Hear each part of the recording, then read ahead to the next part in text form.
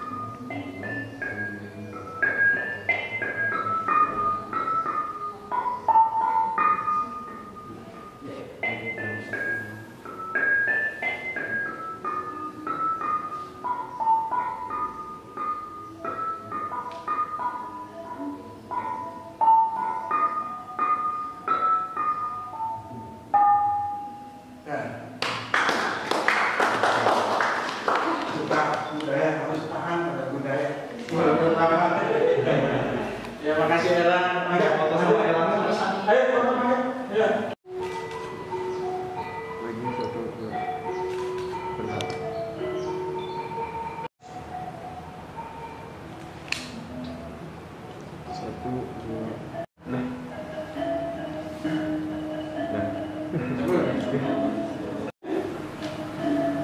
Kenapa senang budaya mana? Kenapa?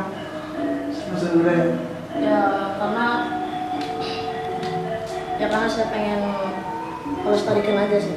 Karena kalau punah kan pastinya sepi kan. Apa nanti kayak Indonesia tanpa budaya gimana gitu Sekarang tadi lagu apa lah? itu dengung dengung namanya Wabango Oh abang oh. lagu khas Cirebon atau gimana maksudnya itu lagu khas Jepang Latihannya sama siapa? Latihan berapa lama? ya awal-awal saya latihan sama sama Sultan dan akhirnya saya bisa belajar sendiri